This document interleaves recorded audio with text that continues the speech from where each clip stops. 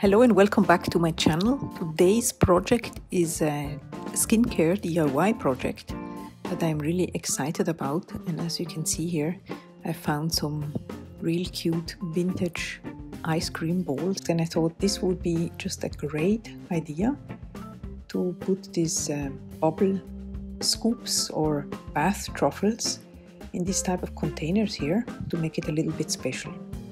So these bath truffles or bubble scoops are basically like a bath bomb, but more like with the idea of moisturizing your skin, making it soft, you know, having this very luxurious bath experience, as opposed to a bath bomb where you have more this entertaining factor of fizzing and colors, etc voila so we have these uh, spoons also that come with it. I think it's really cute. It's also porcelain. Let's see what we can do with it. And then as an alternative maybe a more economical one or if you don't have such bowls at hand could be these plastic bowls here. And you have also the paper version of it. These typical ones where you put ice cream in it and i think there could be many other variations. And maybe you have a good idea. You could um, leave me a comment I love to hear from you, have feedbacks, and see what ideas people can come up with. I think it's very, very interesting. So let's move on to the things that we need for this project here. First of all, you want to have a tray. Best is always to use a tray, as I said. And then I placed some uh, parchment paper on it so the scoops won't stick to it. I'm gonna set this one aside for when we are ready. And then you need a scale and uh, to find out where to place the scale. Okay, once you have found the spot for your scale, you want to have ready some mica for coloring. You could, of course, also use some La Bombe colorants that are made especially for bath bombs, some polysorbate 80, which is an emulsifier, and then some fragrance oil of your choice. The emulsifier is really important, but it's optional, but it makes sure that your oil is really combining well with your water, so you don't have these oil bubbles floating around in your tub. And then for other tools, you want to have this uh, ice cream spoon with a, a, twist thing inside here. I don't know exactly how you call this. And then a measuring spoon fork. I will show you why a fork in just a minute. And then a spatula. If you see this uh, nice tool here that I just recently got, it's a spatula holder, I love it. I can leave a link down in the description where you can find it. Then you want to have a container for your dry ingredients and one for your wet ingredients. I like to use glass, it's very hygienic and very easy to clean. So for the wet ingredients, the first thing we're gonna need is uh, cocoa butter.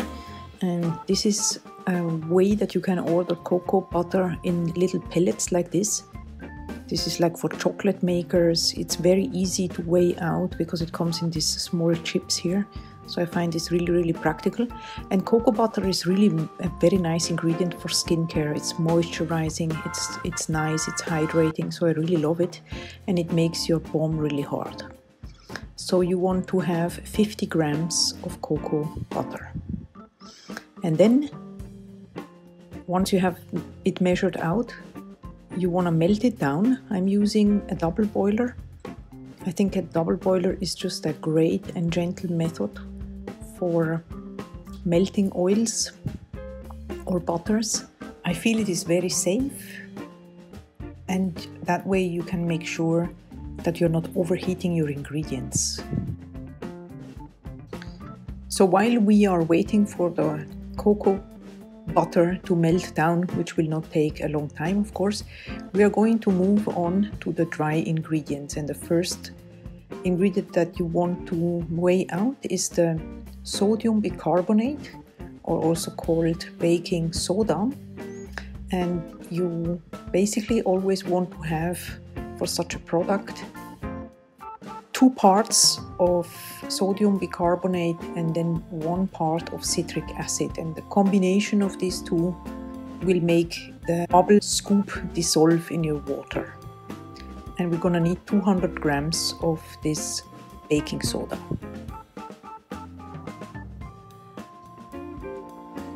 The next non-optional dry ingredient is citric acid that you can also find on Amazon.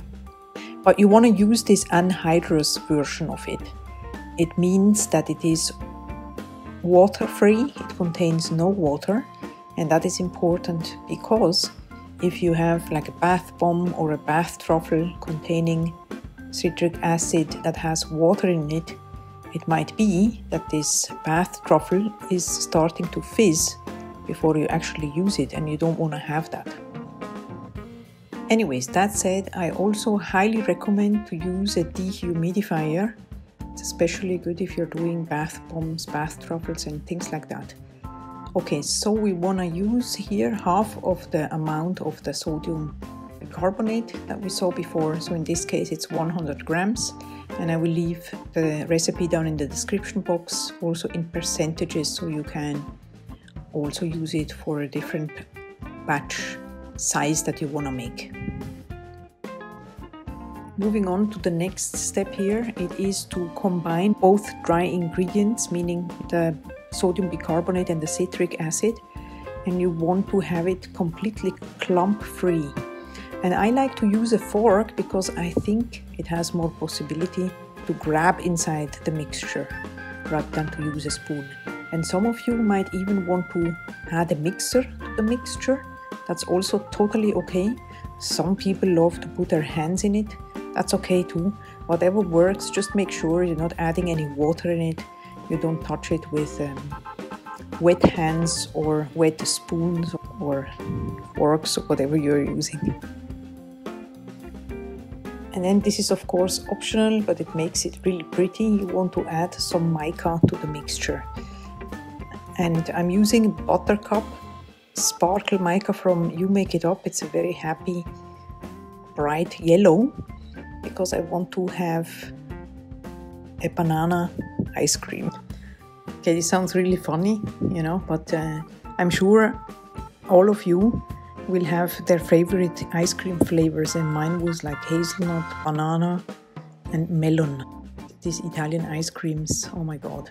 Anyway, so you want to combine this mica to your mixture really, really well. Start by adding a little bit, and you can always add more, but you can never take it back. So, really do it step by step, and then you will see if you're happy with the coloration. Always keep in mind that by adding the wet ingredients, it will get a little darker, of course. Alright, so you combine everything very, very well until you're happy that everything is really incorporated. Because then we need to add our wet ingredients to it. Now, our cocoa butter here, as you can see, beautiful, is completely melted and it smells like chocolate. And um, here we have it.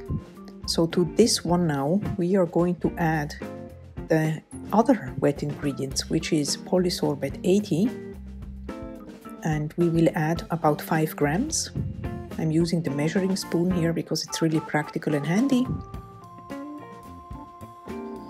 And of course, if you are using a liquid colorant, you will add the liquid colorant to the wet ingredients as opposed to the mica that you are combining to the dry ones.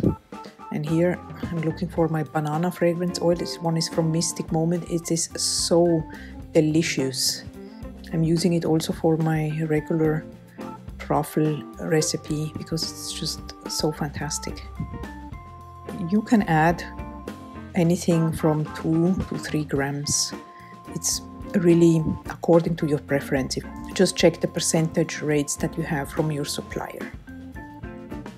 Just making sure that the dry ingredients are well combined here before adding the wet ones. And here are the wet ingredients. I'm just blending everything together so it's nicely incorporated. The trick here is to work very fast while the oils the cocoa butter is still very hot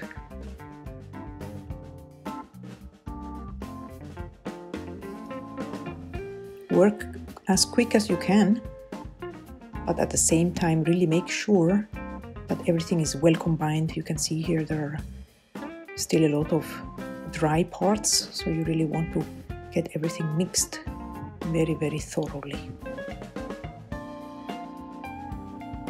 It looks like I'm mixing up some polenta. You know what that is? This is a North Italian dish. If you've never tried it, you should really try it. I'm gonna leave a picture here. So, but the mixture looks like we are really getting there, just making sure that all the clumps are out.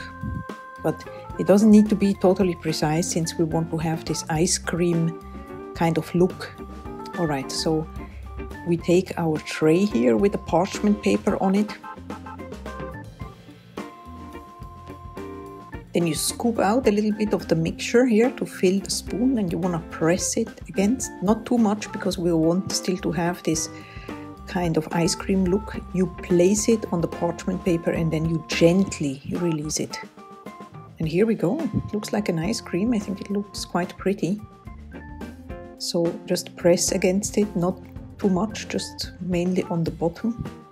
Place it and then gently release by lifting the spoon, making sure you not shake it around or something.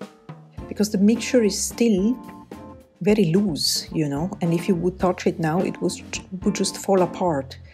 But um, by tomorrow, it will be rock hard. So you release it again, and then we make another one here. Again, gently press it at the bottom place it, release it, and lift it gently. And here we go. We have our first banana ice cream scoops.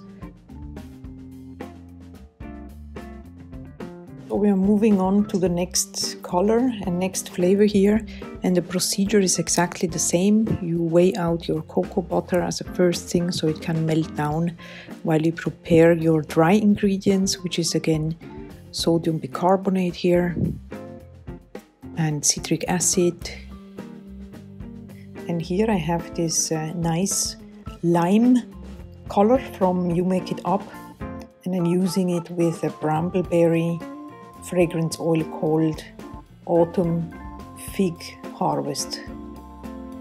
So I'm combining everything here, the green mica for a pistachio kind of look and then I'm gonna fast forward the rest of the procedure here so the ones who are interested can see again. We have the wet ingredients ready here. I'm gonna add the polysorbate 80, the fragrance oil, mix everything and then while it's still hot, mix it inside the dry ingredients.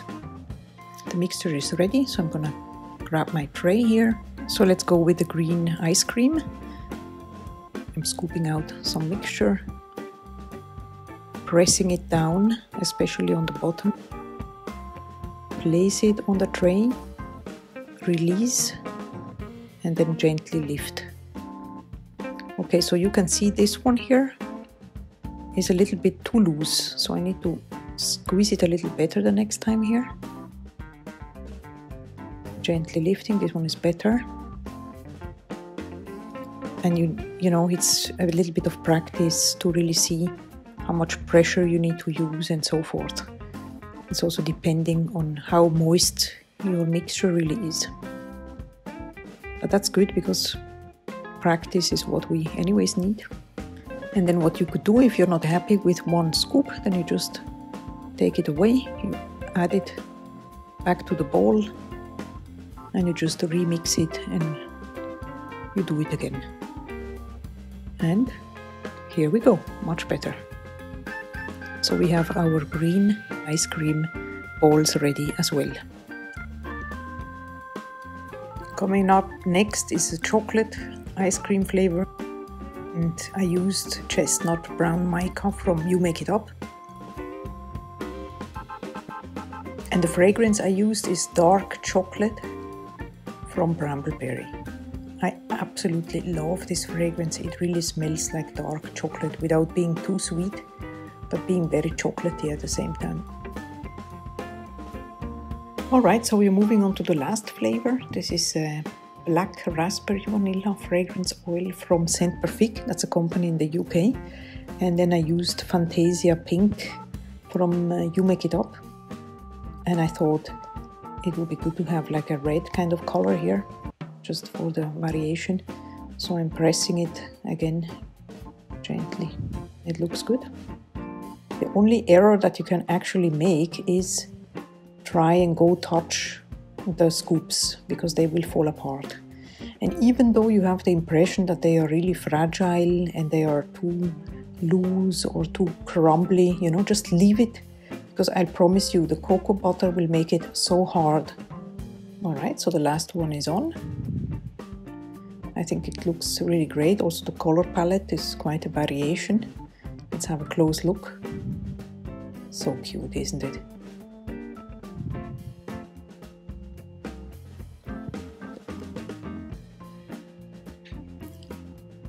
So it's the next day and it looks like our scoops are really hard. So that's beautiful. They smell amazing. Now let's let's see how we can go about. So first of all we want to add some tissue paper inside of the bowl in the bottom just like so and then isn't that cute? Let's add a little spoon here, just for decoration. What do you think? I think it's a great idea for a gift. Let's do another one. Again, tissue paper at the bottom. And here you now have another one. Voila.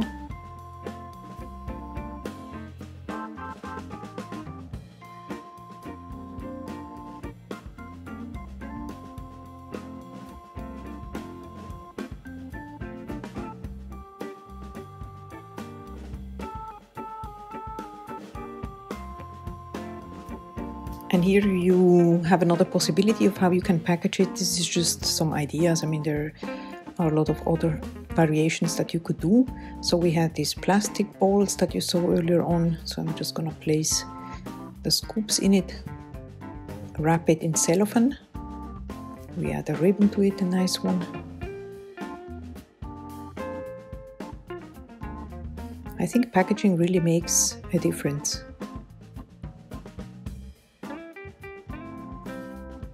See these yellow ones here. With the matching ribbon. And I think this is a really good gift that you can make for someone you like. I also have these type of little cake liners sitting around and I thought, why not? They could also be used have this little one here as well that can hold one scoop.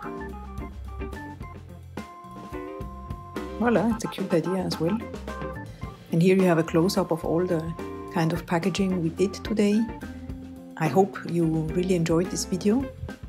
Would like to see your own creations with it. I hope to see you around very soon for another video and I wish you a wonderful day. Bye bye.